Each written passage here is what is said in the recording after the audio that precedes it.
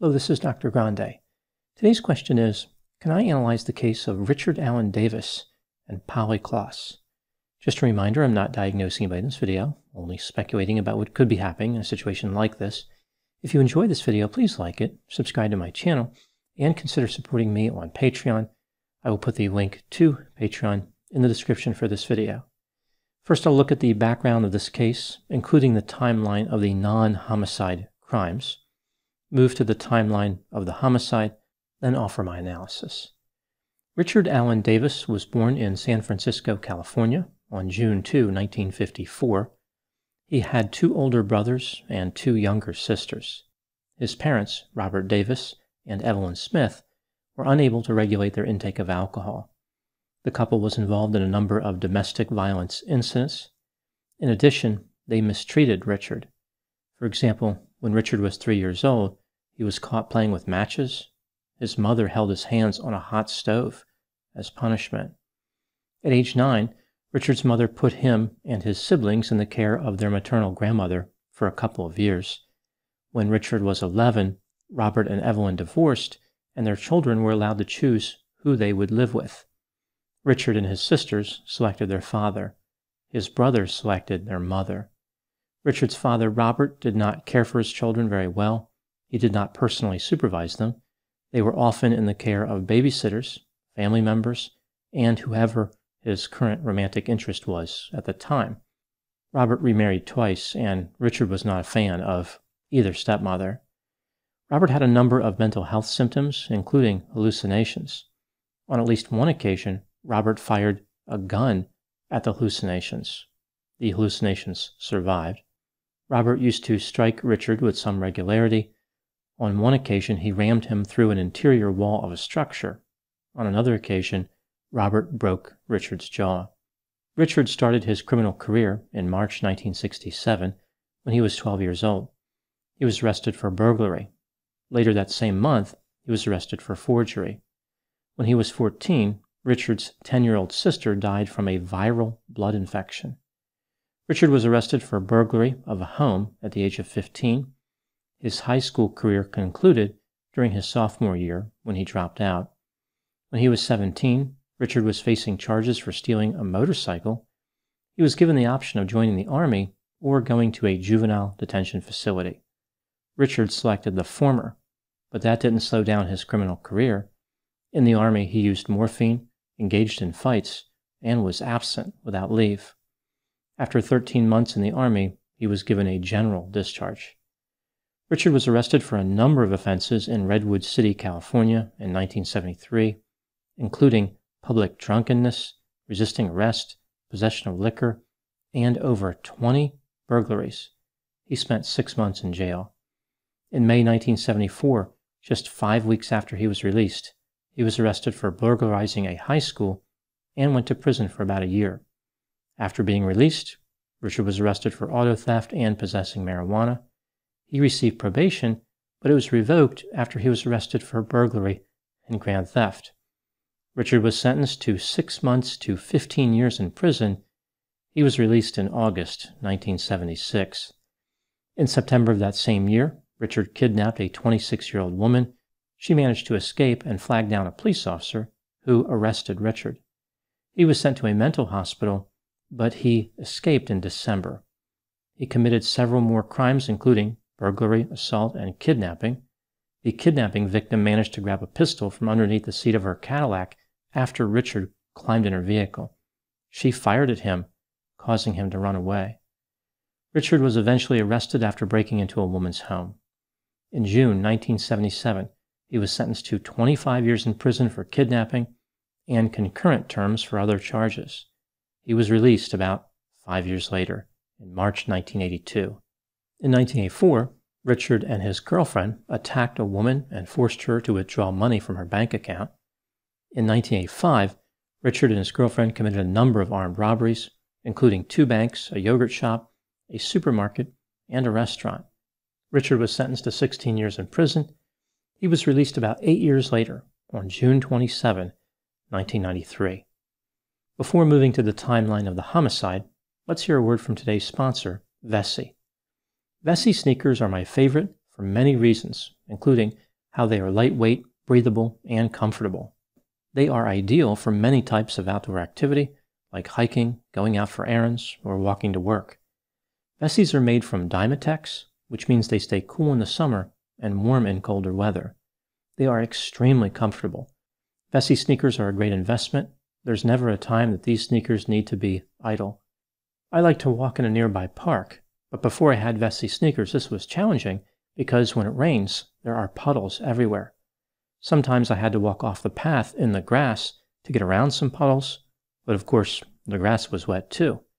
After getting back to my truck, I would have to change out of my sneakers and socks because everything was soaked. With Vessi sneakers, that problem is a thing of the past. Now I take my Vessis to the park. It doesn't matter if it's currently raining or has just rained. It doesn't matter where I walk. The shoes are 100% waterproof and can be worn every day in every season. Now when I get back to my truck, my socks are completely dry. Vessis are my go-to shoes by my door. Check them out in the link below, vessi.com, for a pair of your Vessi shoes. Now moving to the timeline of the homicide. On October 1, 1993, a 12-year-old girl named Polly Klaas was having a slumber party at her mother's residence in Petaluma, California. Polly was in her bedroom with two of her friends, who were also 12 years old. Sometime around 10:30 p.m., Richard Davis entered the home. Polly opened her bedroom door to find Richard standing there holding a knife. He entered the bedroom and told the girls he would not hurt them. He was only there to steal money. Richard put pillowcases over the heads of Polly's two friends, tied their hands with strips of cloth and wires from a Nintendo game system, and ordered them to count to a thousand. Richard then kidnapped Polly. The girls freed themselves after hearing a screen door close. They alerted Polly's mother, who called 911 at 11:03 p.m. At 12 a.m., now on October 2, Richard was spotted about 25 miles north of Petaluma, California. A babysitter was driving away from the residence of her employer when she saw Richard Davis and his vehicle, which was resting in a ditch next to the driveway. The babysitter called her employer, who was the homeowner, and told her that there was a scary looking guy inside the gate on her property. The homeowner then called the police. When the police arrived, they confronted Richard. The officers immediately suspected something was wrong. Why was this guy on a private road in the middle of the night? Richard supplied them with a number of excuses to explain his presence there. For example, he claimed that he was sightseeing and he became lost. They checked into Richard's background but did not find any warrants. They had not heard about the kidnapping because at that time information wasn't transmitted effectively from one police department to the next. Even still, the police knew that something was wrong, and they really wanted to arrest Richard. They tried to convince the homeowner to place Richard under a citizen's arrest for trespassing. In order to do this, the homeowner would have to approach Richard and say the words, I arrest you. This never happened because the homeowner refused to cooperate. I guess that was a lot of work. The police ended up calling a tow truck to free Richard's vehicle. When the vehicle was pulled out of the ditch, the police searched it thoroughly. They were really trying to find any reason to place Richard under arrest. The police found an open container of beer, but that was not illegal at the time. They made Richard dump out the beer before escorting him off the property. They told him never to return. Over the next several weeks, the police desperately searched for Polly, but there was no sign of her. At the crime scene, a palm print was found on Polly's bed, and a piece of ballet leggings were recovered. At the time, palm prints were not stored in a database, so no identification was possible. On November 28, 1993, which was almost two months after the kidnapping, the homeowner, who refused to cooperate with the police, now wanted their help. She called to report items she discovered on her property, including a pair of ballet leggings which had been torn. The police responded and realized that the leggings matched the piece found at the crime scene. When the police investigated further, they found the report filed by the officers who had responded to Richard's vehicle being in the ditch. The palm print found at the crime scene was a match to Richard. Richard Davis was charged a few days later. He was easy to find because he was already in custody for violating parole. On December 4, 1993, Richard confessed to kidnapping and murder. He said that he strangled Polly. He showed the police where he buried her body. The grave was about one mile south of Cloverdale, California. Richard would not provide any more details about what happened on October 1, 1993. The police believed that he was stalking Polly for weeks prior to committing the kidnapping and murder. Richard was convicted of first degree murder on June 18, 1996, and sentenced to death. It's unlikely that he will ever be executed because he's in California, but several prisoners have tried to speed up the process. They were not successful. Richard survived and is now in protective custody. Now, moving to my analysis. Here are my thoughts in a few areas that stood out to me in this case. Item number one the father of Polly Klaas led an initiative in California for the state to adopt a three strikes law. The idea behind this law is that criminal offenders are never to be released from prison if they commit three violent offenses. Unfortunately, the law was not written very well. It has been applied to people convicted of all types of offenses, including nonviolent felonies.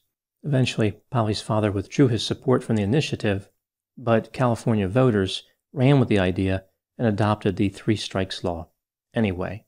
Reportedly, people have been sent to prison for crimes like bigamy and stealing a slice of pizza.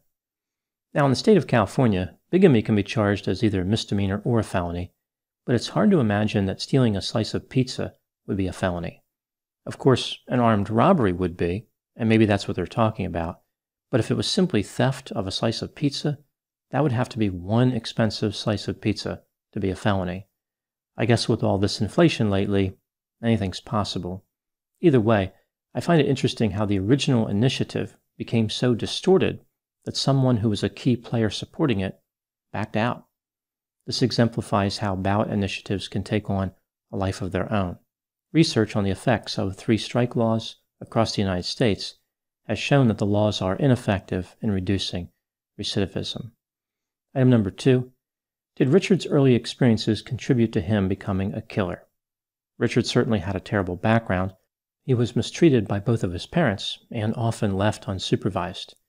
When he was young, he would frequently kill animals, like burning cats alive and cutting dogs with a knife.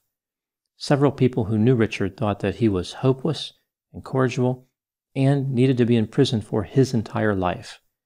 Richard's experiences may explain his later criminal behavior, but it's worth noting that his two brothers did very well for themselves. One became a police officer and eventually a judge. The other became an employee of Lockheed and had security clearance. Item number three Was there anything that could have prevented Richard from murdering Polly? The confluence of a few circumstances contributed to this crime, Richard kept being released from prison earlier than he should have. He should not have been out in 1993. It does not appear as though the doors on Polly's house were locked. And a neighbor witnessed Richard walk into Polly's house at around 10:30 p.m. on October 1, 1993. The neighbor did not call the police because they thought Richard looked normal. One of the most frightening elements of this case is how Polly was in a situation that people would normally consider very safe. She was in her house with two friends and her mother, yet she was still kidnapped and murdered.